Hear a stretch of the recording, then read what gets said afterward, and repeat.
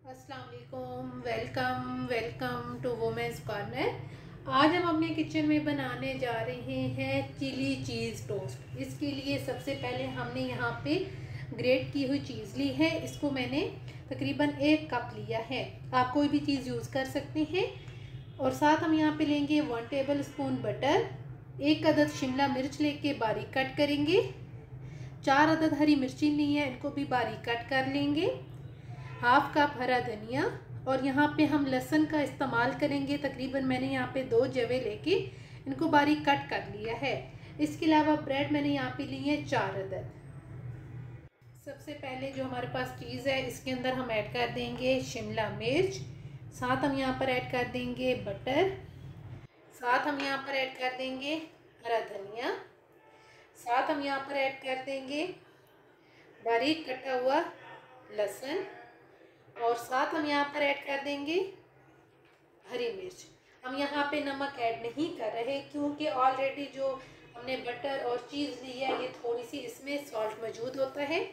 और यहाँ पे हमने हाथ की मदद से बहुत अच्छी तरह से इन तमाम चीज़ों को मिक्स करना है।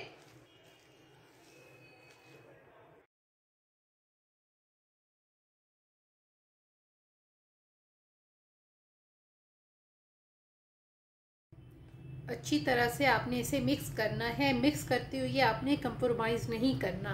अगर आप अच्छी तरह से मिक्स नहीं करेंगे तो आपके जो टोस्ट हैं, वो अच्छे बन के तैयार नहीं होंगे।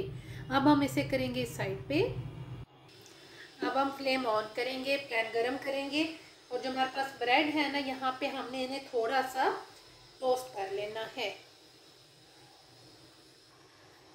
हल्का सा टोस्ट करने के बाद अब हम इनको निकाल लेंगे। और बाकी जो है, उनको भी हम इसी तरीके से टोस्ट कर लेंगे।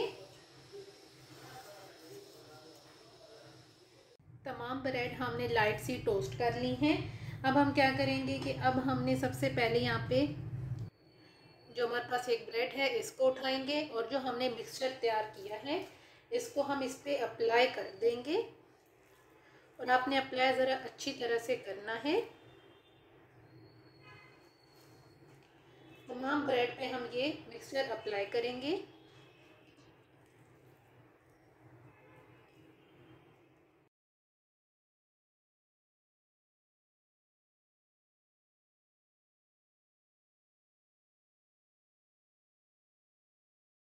अब हम दोबारा से पैन गरम करेंगे और इसमें हम हल्का सा ऑयल ऐड करेंगे। ज़्यादा ऐड नहीं करेंगे।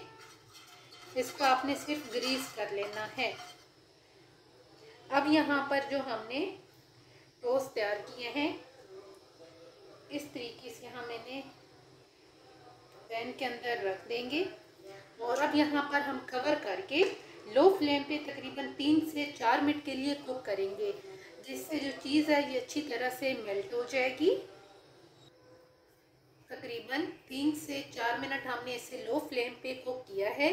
अब यहाँ पे हम इसका कवर उठाएँगे। चीज़ बहुत अच्छी तरह से मेल्ट हो चुकी है। अब हम इनको निकाल लेंगे और बाकियों को भी हम इसी तरीके से तैयार करेंगे।